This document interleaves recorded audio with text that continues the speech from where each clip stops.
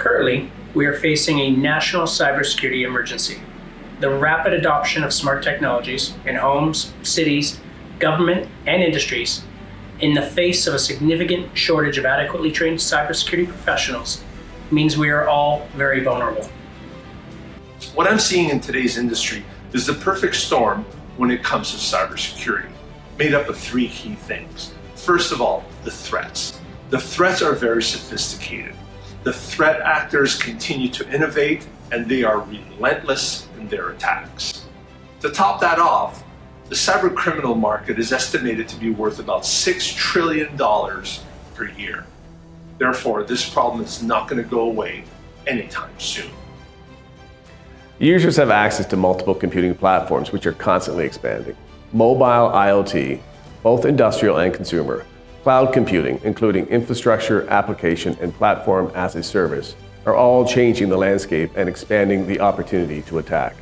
One of our largest challenges facing the cybersecurity industry today is a lack of skilled personnel and the global talent shortage. Current research indicates that our industry will face more than 1.5 million openings by 2020. I am Ali Dehghantanha. I'm a professor of cybersecurity in the University of Guelph and uh, I am directing development of the new master program in cybersecurity and threat intelligence in the university.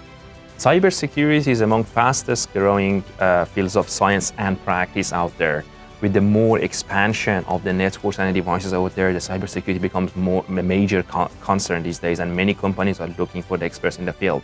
University of Guelph recognized this gap a couple of years ago and since then, there were lots of development going on in the campus, developing a new cybersecurity lab, recruiting a lot of world-class researchers and a lot of professors coming to the school so we can provide a great teaching and learning environment in cybersecurity. Moreover, we have created strong links with many businesses out there, and those businesses would be with the students and supporting their student projects throughout the program. That provides a hands-on, real-world experience to the students which are coming to this program and graduating from this program successfully. My name is Rozita Dara. I'm a faculty at the, at University of Guelph. Uh, my focus is on privacy and artificial intelligence. This program at the University of Guelph will enable uh, graduates to, uh, to, to, gain hands-on experience on the most challenging aspect of cybersecurity and also enables them to think ethically when they want to address them, uh, considering the social uh, challenges uh, globally they will also gain experience with um, core concept of security in combined with artificial intelligence uh, to address the most cha uh, those challenges.